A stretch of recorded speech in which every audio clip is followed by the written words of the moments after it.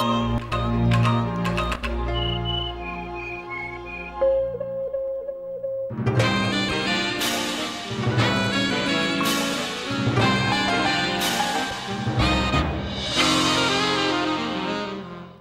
Canal welkom bij Cinemania. Pierrot Le Fou is de meest romantische film van Jean-Luc Godard. In deze prent uit 65 volgen we Ferdinand, een poëet die zich verveelt met zijn vrouw. Hij stort zich in een relatie met de vreemde Marianne, die op een of andere manier geweld en dood aantrekt. Godard filmt de eerste koetvoederen niet zoals we het verwachten. Geen stomende seks, wel poëtische dialogen. Je mets ma main sur ton genou. Moi aussi, Marianne. Je t'embrasse partout. Moi aussi, Marianne.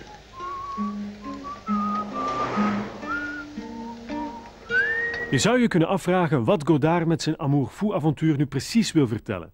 Wel, de cineast geeft vanaf het begin de sleutels zelf aan. Zo duikt op een bepaald moment de Amerikaanse regisseur Sam Fuller op en die legt alles mooi uit. J'ai toujours voulu savoir ce que c'était exactement que le cinéma. He wants to know exactly what this movie is. A film is uh, like a battleground. C'est comme une bataille, un film. Yes. Love, L'amour, hate, la haine, action, l'action, violence, la violence death. et la mort. In one word, emotions. En un seul mot, c'est l'émotion. Ook in Pierrot Le Fou vinden we die typische Godardiaanse absurde en zwarte humor terug. En opnieuw speelt de regisseur met de clichés uit de gangsterfilm. Het volgende fragment bevat overigens een schokkend moment. Zelfs de Amerikaanse cinema durfde zoiets in 65 niet te tonen. Quentin Tarantino houdt van Godard en u zal meteen begrijpen waarom.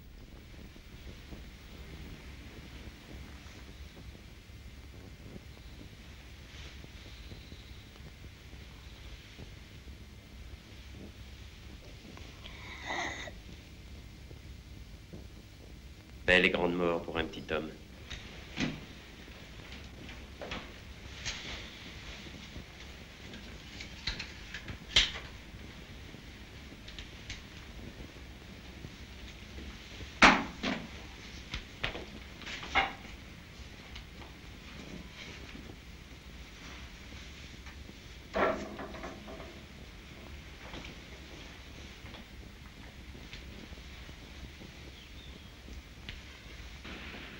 Qu'est-ce que vous faites là, mon vieux J'ai entendu du bruit.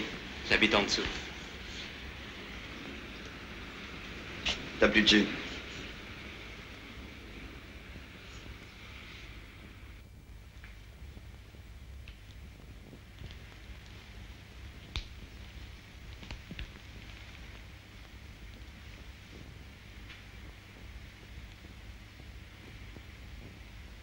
On va aller faire ton truc. Intussen zijn jullie allemaal Godard-fans geworden, hoop ik. Ik zal er maar meteen plaats ruimen voor die andere gek, Pierrot Le Fou.